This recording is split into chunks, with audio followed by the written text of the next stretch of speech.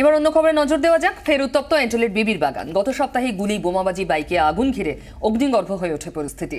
যে বিতর্কিত ফ্ল্যাটগুলো ঘিরে গন্ডগোল আজ তার দখলদারি ঘিরে আর এক প্রস্থ উত্তেজনা ছড়ায়। অভিযোগ উঠেছে, পুলিশের ভূমিকা নিয়েও। গত বৃহস্পতিবারই রণক্ষেত্র হয়ে উঠেছিল এন্টালি। ঘটনার কেন্দ্রে এলাকার নির্মীয়মান এই বহুতলটি নির্মীয়মান বহুতলের প্রমোটার শেখ মাজার এক একটি ফ্ল্যাট একাধিক ব্যক্তিকে বিক্রি করে দিয়েছেন বলে অভিযোগ। এ নিয়েই যত ঝামেলা। আমি পাঁচ লাখ টাকা দিয়েছি মাজারকে।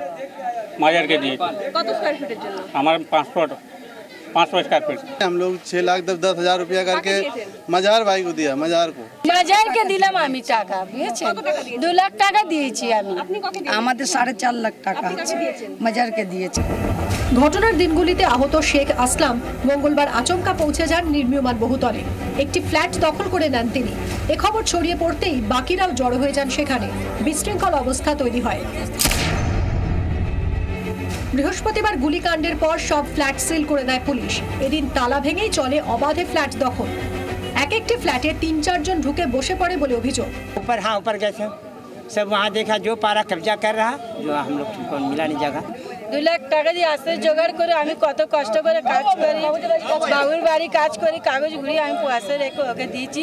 দু আড়াই বছর হচ্ছে আমি টাকা দিয়ে এখন ফ্ল্যাটটা পাই আছে।